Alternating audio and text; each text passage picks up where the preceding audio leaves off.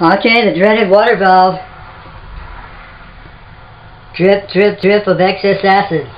If you remember those commercials. Could be hydrofluoric acid, whatever it is. Chlorine. Fluoride is an acid. Haha. Anyway, this thing's dripping. We're gonna we're gonna swap that out.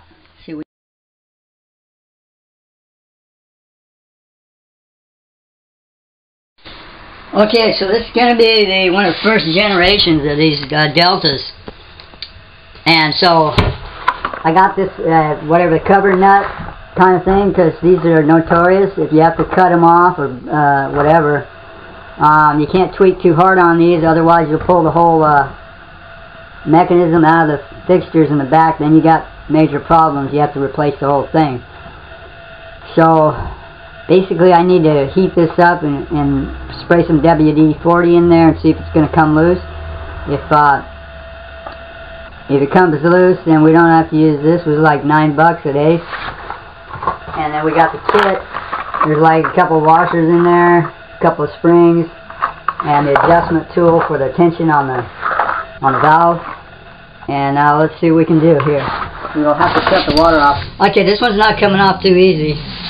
I actually tried the heat gun and the lighter technique. Uh, it's not a flare-up. It's not a. It's not coming loose. I tapped on it a little bit. I'm not going to tweak on it too much. What I'll probably do is take a little grinder and grind it off rather than hacksaw it. Um, yeah, it's not coming off too easy. I'm probably going to let it set a couple days. This thing's got these long screws. Yeah, you got to like fish way in the hell back in there to figure out where they go all day long. But uh, yeah, this one it's to be uh, have to be another day kind of thing. I'm just to let it soak with penetrant and uh, try and make it work that way later. Okay, so I went, on, I went over it with my heater again and pounded on it a little bit and it came off. It's coming off. It's to come off. Oh, that's odd noise.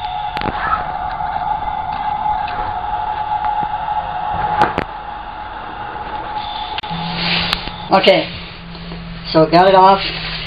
This is the little ball that's in there. I think it's important to keep it the same way it came out. So that's the upside. And so I got the two washers on the right and left. Got to pull those out. There's going to be springs behind them. And I'm going to swap those. With this kit. Delta style faucet repair kit. Delta style faucet repair kit. Got the washers and the springs. Okay, so here's what the old one looks like.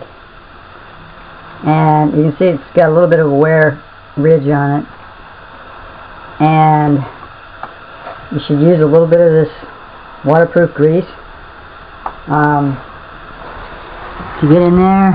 And I made this little puller tool so you can pull that out. Just reach in there. See if I can do this. Pull this. Just take a little coat hanger and put a little uh, hook on it. Go in there and try and grab onto it gently. And it comes out. And so we're going to put a new spring and a new washer in that. And we're going to grease up that little control arm thing too. And possibly grease up the face of that washer when we put it back all back. And so got it all back together. Trick is, is this little notch, you got to make sure that little notch is in there. And things flush up against there. And then when you put the screw face thing back on, I'm actually going to put a little pipe thread dope on that on those threads. When you put this thing back on, you want to make sure that this plastic piece does not move when you're putting this back on. Where it all began.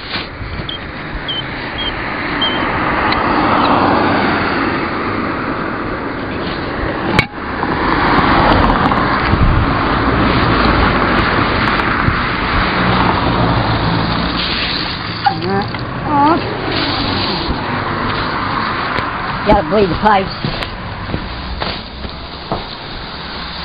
So, all this stuff off.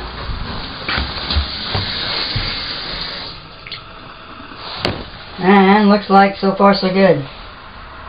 Never know till you try it, right?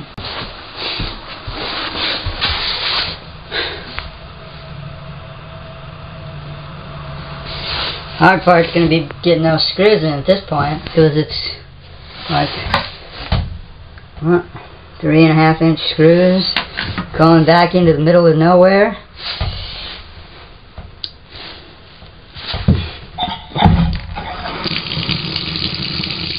That hasn't been turned on for a while.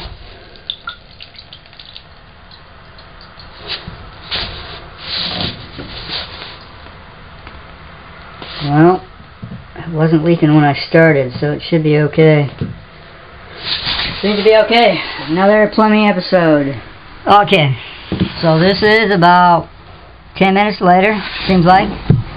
And so I finally got these screws lined up.